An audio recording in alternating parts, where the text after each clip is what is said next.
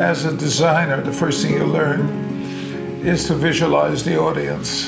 And different audiences require different messages. So in this case, where the audience is very undefinable, everybody's in the subway, right? So it's old people, young people, people who are literate, people who can't read, all of that stuff goes on. So your audience is very complex. But here, we were talking to everybody, and for different reasons. One of the reasons we were talking to some of that audience was to elevate the idea of the institution and the fact that it existed, that there was a place in New York that provided education. So you were talking to a general audience as well in terms of promotion and awareness.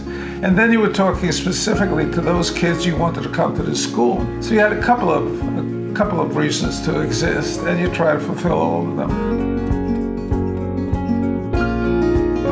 One of the things I consider to be essential in a relationship between client and practitioner is goodwill and a feeling that um, you're in the same boat. We want to look provocative, we want to look different, we want to say we're not like everybody else. But that is risky because you want to take a client along with you in communicating something where there's an element of doubt. If there's no element of doubt, it's like everything you see every day.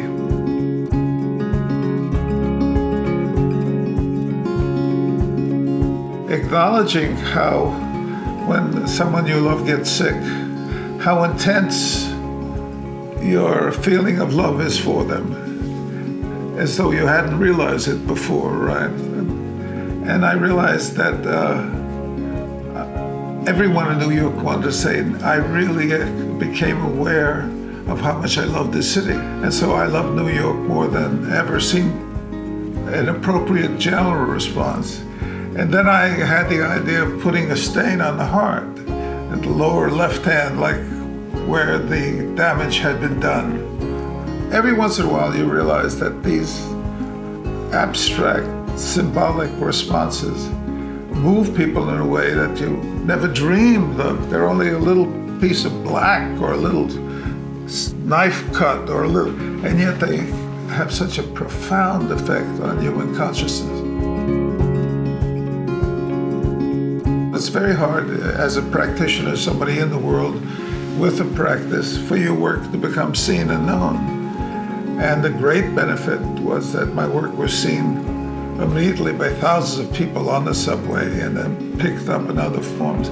So curiously, even though it represents a tiny piece of the spectrum of information, it got an enormous amount of coverage. And so the Design magazine's cover, it, uh, it was enormously beneficial to me personally for people to identify that as my work.